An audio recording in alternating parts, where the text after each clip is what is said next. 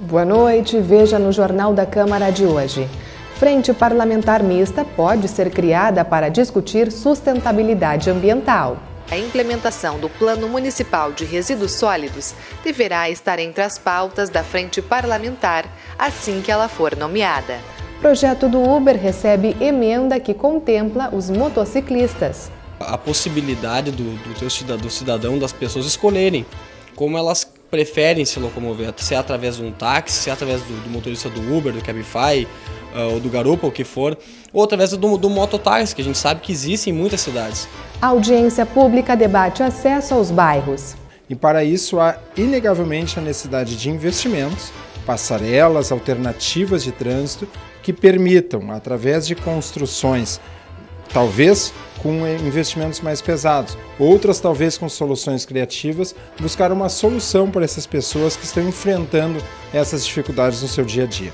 Agora, no Jornal da Câmara.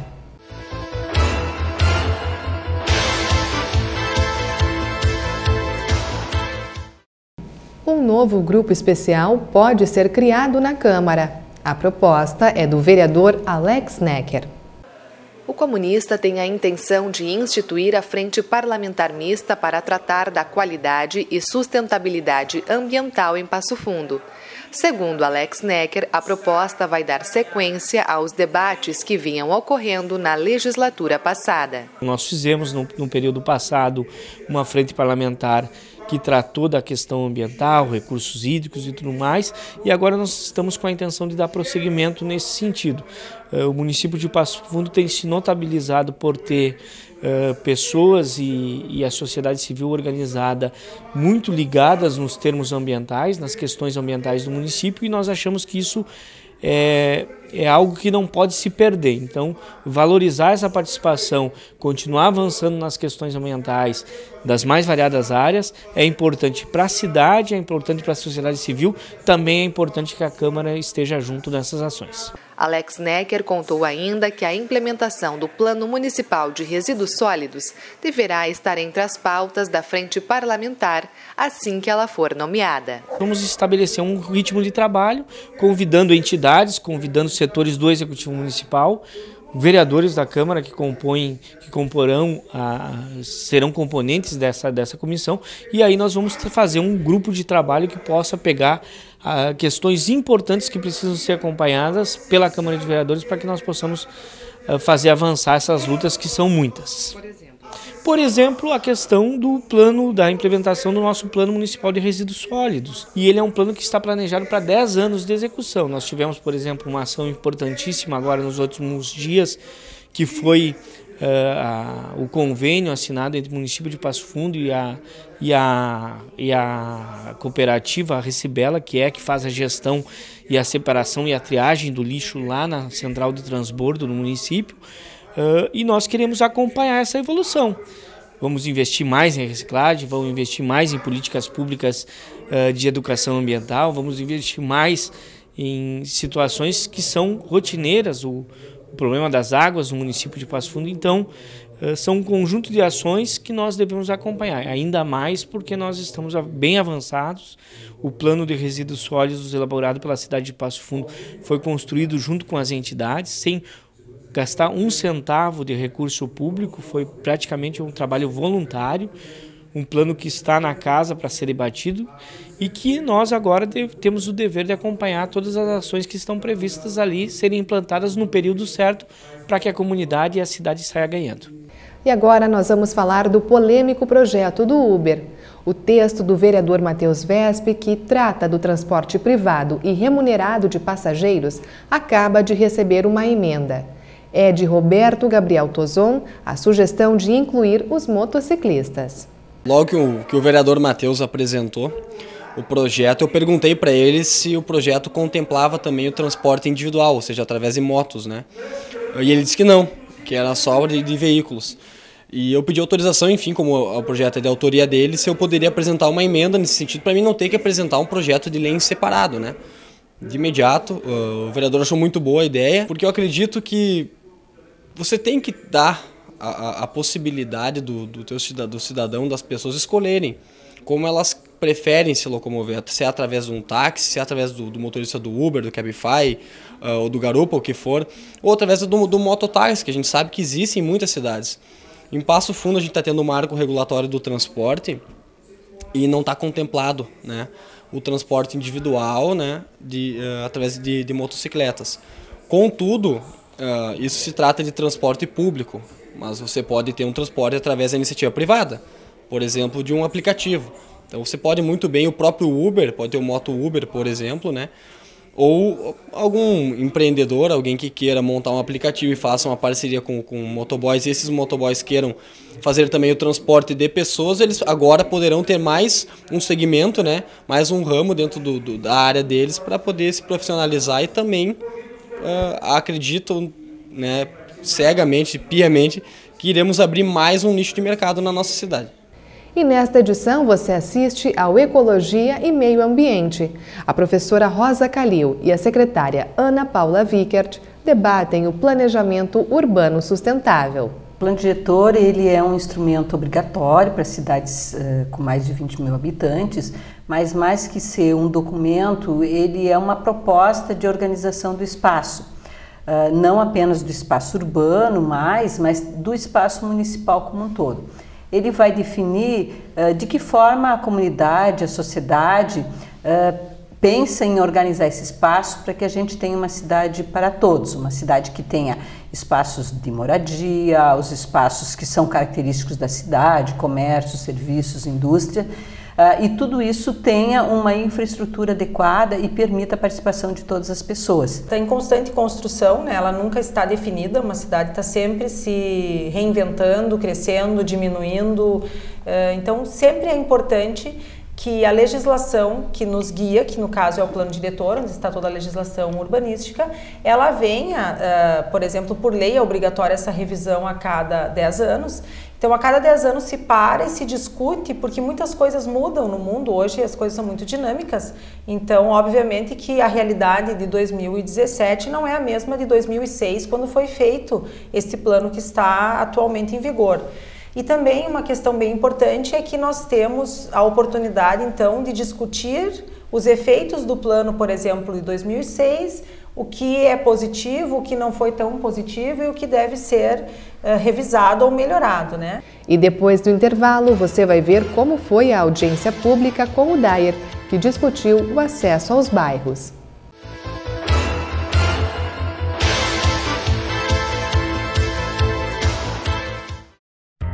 A Câmara de Vereadores está com você.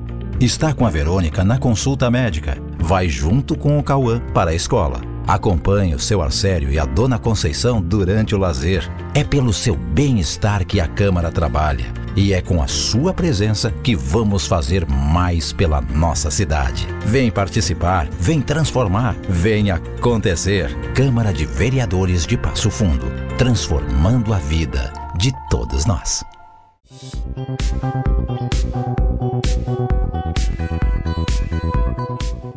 Cuidados que nós devemos ter com o uso do lençol térmico.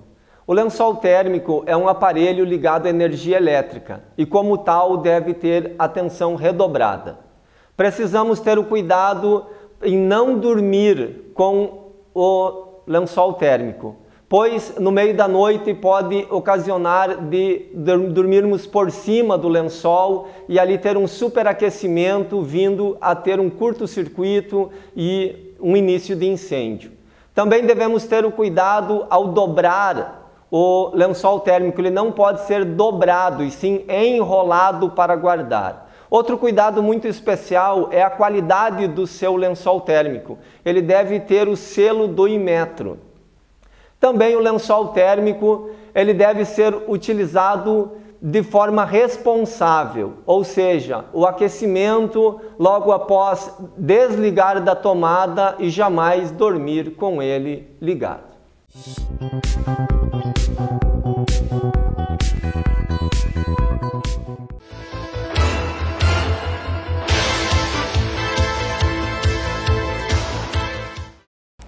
O acesso a diversos bairros através de rodovias que circundam nossa cidade foi tema de uma audiência pública nesta semana. A atividade contou com a participação de representantes do DAIR, Ministério Público, empresários e comunidade em geral. A audiência foi realizada pela Câmara de Vereadores através da Comissão de Patrimônio, Desenvolvimento Urbano e Interior, após um pedido do vereador Saul Spinelli. O objetivo era discutir as obras já programadas e os novos projetos, sem contar as ações judiciais que estão em andamento para tratar questões dos acessos aos bairros Xangri-Lá e Santa Marta. Nós tivemos aquele trevo, aquela, aquela perimetral construída 30 anos atrás.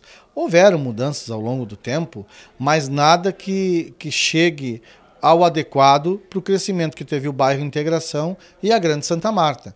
Uh, incluindo ali Vila Jardim, Nossa Senhora Aparecida, todas as adjacências ali. Então, nas, na, na Xangri-Lá, que acessa o, o principal acesso do bairro Integração, nós temos ali falta de sinalização, iluminação, falta de, um, de, um, de uma rótula, de um trevo, enfim, de um acesso que contribua com a segurança de quem está passando na RS 324 e que vem do distrito, e quem vem do centro que tem que acessar o integração ou tem que sair. Na Santa Marta não é diferente. O movimento da João Catapã triplicou com o número de casas construídas tanto na, na, na, no Menino Deus quanto na Grande Santa Marta. O parlamentar afirmou que a obra de acesso ao Distrito Industrial Paulo Rossato, na RS 324, também merece destaque.